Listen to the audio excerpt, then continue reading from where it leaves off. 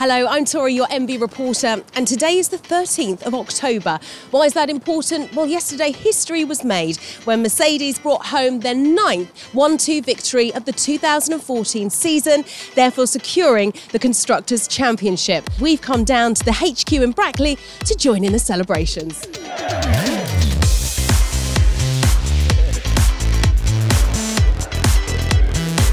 Niki, thank you so much for joining us. What an historic weekend for both Mercedes and yourself. What does it mean to you personally? For me personally, I think the whole team worked very hard to achieve the Constructor Championship, and I'm happy to be part of it. The guys, the boys and girls back here have been working incredibly hard to be prepared for that. Does that mean you can take your foot off the pedal a little bit going into next year?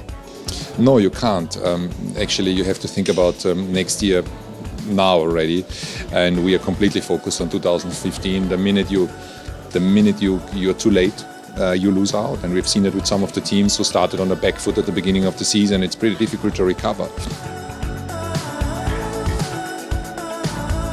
You were up there on the podium with both of your drivers. What was going through your mind at that point?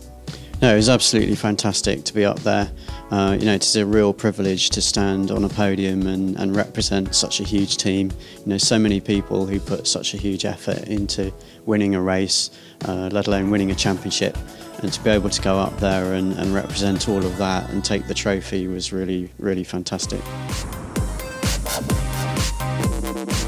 Well, we've just arrived at Brixworth. We know the power source once again will be coming from this very factory, but which driver will take that championship title is down to these two boys to decide. You kind of leapt on that opportunity and thought, this is our chance. Maybe sacrificing other seasons, would, would that, would that make sense? Uh, we tried not to sacrifice any other projects or, or seasons, but we um, we very much work on the on the basis that you know every day is really really precious. So as soon as you get the hint of a change, you react um, and you work exceptionally hard to the deadline of the first race. You're kind of riding on the crest of a very good wave at the minute. You know, it's incredible being around all these all these people who have contributed to work so many years to get this result and I just feel very proud to have been a part of it. You know, it's been the best two years of that I can remember in my life. So you've got a constructor's title under your belt. You've got a phenomenal car, an amazing team behind you. How are you feeling going into the final three races?